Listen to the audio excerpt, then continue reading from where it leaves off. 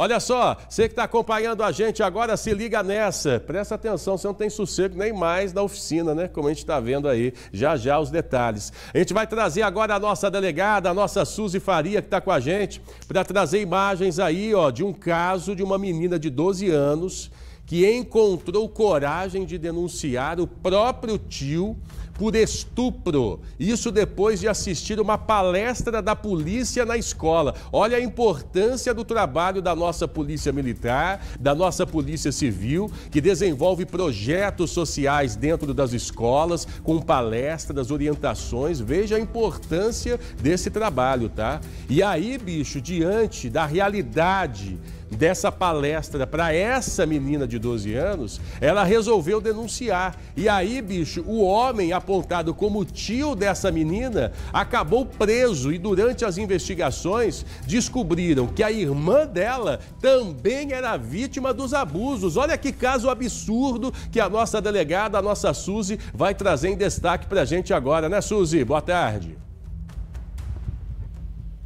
Boa tarde, Douglas. Olha só, se você já achou um absurdo uma criança de 12 anos ter sido estuprada, violentada durante um tempo pelo tio, e a irmã mais velha dela, de 23 anos também, vai ficar apavorada ao saber que a mãe dessas crianças também foi vítima da mesma pessoa, do irmão. A mãe que hoje tem 41 anos. E olha, o curioso dessa história é que só depois da filha mais nova essa de 12 anos, ter assistido a palestra importantíssima da Polícia Militar e ter tido coragem de contar sobre o abuso, é que a irmã mais velha e a mãe também tiveram coragem de denunciar a mesma pessoa. Esse fato aconteceu lá em Muniz Freire. E o delegado Hélio Flávio Martins, que investigou tudo isso, ficou surpreso ao saber dessa relação essa pessoa que praticamente se transformou aí num maníaco, né? Esse homem que acabou sendo preso no dia 14 de maio, mesmo após o relato da família não ter acreditado que isso, que ele tinha feito tudo isso. A menina assistiu uma palestra da Polícia Militar na escola do Proerd e logo depois que terminou, ela chegou, abordou uma policial militar feminina e relatou o que vinha sofrendo foi levada para a delegacia, comentou lá o que aconteceu. A mãe e o pai dessa criança ficaram surpresos ao descobrir o que o tio dela estava fazendo. Aí a polícia pediu um mandado de prisão preventiva, o juiz deu imediatamente no mesmo dia. Eles passaram então a vigiar esse homem e conseguiram prendê-lo. Agora ele está com prisão preventiva na cadeia. E o mais difícil disso tudo é saber que duas gerações de uma mesma família acabaram sendo abusadas pela mesma pessoa. Triste relato que a gente viu e que pelo menos agora esse homem está preso e mais ninguém ele vai poder violentar do jeito que vinha fazendo, né, não, Douglas?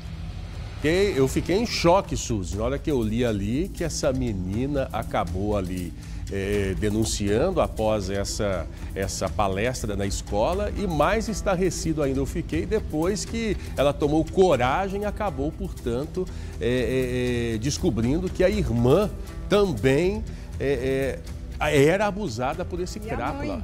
Olha que doideira. E nós temos aí, parece, né, Suzy, a, a entrevista do delegado. Como é que é? Pode falar, Suzy, perdão. Exatamente, nós temos a entrevista do delegado que vai esmiuçar melhor. Lembrando que não foi só a irmã, a mãe também. A mãe e as duas filhas estupradas pela mesma pessoa. O delegado explica melhor tudo isso e a gente vai acompanhar agora. O escopo dessas palestras levadas aqui pela Polícia Militar é justamente educar e, eventualmente, ao final dessas palestras, algumas vítimas se sentem desinibidas para denunciar violência doméstica familiar. É, essa vítima em questão foi uma delas, uma criança de apenas 12 anos, que após assistir uma palestra ministrada pela Polícia Militar na escola, se sentiu confortável em conversar com uma policial feminina. Ela contou à policial militar sobre o abuso que vinha sofrendo desde a tenridade. Tenridade, 12 anos de idade, né? Uma vez que a instrução do inquérito policial foi levada a efeito, mediante o relato das testemunhas, eu promovi e representei pela prisão preventiva do indivíduo e o juiz prontamente uh, a decretou. No decorrer das investigações, as testemunhas relataram que já haviam sido vítimas Inclusive, a irmã mais velha da vítima, de uma criança, ela fala: olha, é, após a denúncia feita pela minha irmã, eu me senti confortável em afirmar que eu também fui abusada sexualmente pelo mesmo agressor durante a tenridade. E a mãe dessas meninas afirma que também foi vítima desse indivíduo. Foi por isso que ele foi indiciado três vezes pelo crime previsto no artigo 217A do Código Penal. Pois é, esse homem de 47 anos de idade, que já está na cadeia, foi autuado três vezes por estupro e também por violência psicológica. Douglas. Olha, inacreditável esses assuntos, esses casos que a gente mostra para você aí de casa. Não dá para aceitar, né, bicho? Obrigado, viu, delegada? Obrigado à nossa Suzy Faria pelo detalhe da informação.